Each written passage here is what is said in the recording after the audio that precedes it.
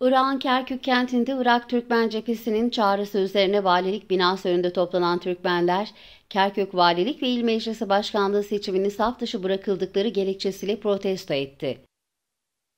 ITC Başkanı Hasan Turan, eski vali Rakan Sait, İl Meclis üyeleri Sünni Es, siyasi Siyade Koalisyonu Sözcüsü Halit El Mahfreci'nin de katıldığı protestoda Irak ve Türkmen ili bayrağı taşıyan göstericiler Kerkük Türktür, Türk kalacak sloganı attı. Şimdi Cumhurbaşkanı'nın e, seçilen valinin onaylaması bizim için hiçbir e, anlamda bir ifade söz konusu değil. Neden? Çünkü bizler e, Anayasa Mahkemesi'ne bir dava açtık. O dava da kabul edildi. Hukuk ve anayasa çerçevesi içerisinde henüz e, o süreç devam etmektedir.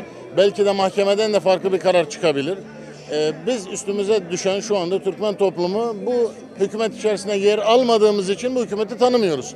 O toplantıdan çıkan tüm kararları da kabul etmiyoruz, reddediyoruz.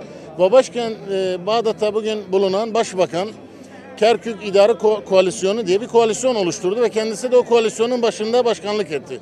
Bugün Kerkük İdare Koalisyonu'nu tekrar toplantıya davet ediyorum. Başbakan bir an önce bu işe müdahale edip Kerkük'te herkesin, tüm etnik grupların kazanan listelerinin hak hukukunu alması, alması için Başbakan bir zahmet görevine kalkması gerek.